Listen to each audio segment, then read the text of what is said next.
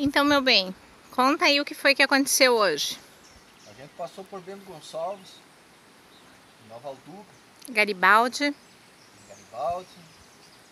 E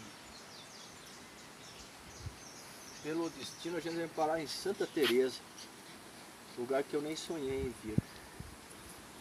Viemos atrás de um campo, mas parece que está tudo abandonado aqui.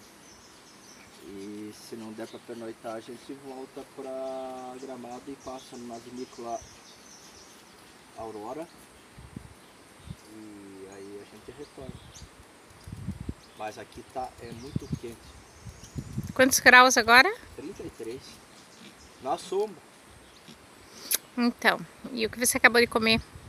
Eu comi carne de porco, costela assada e também cerveja.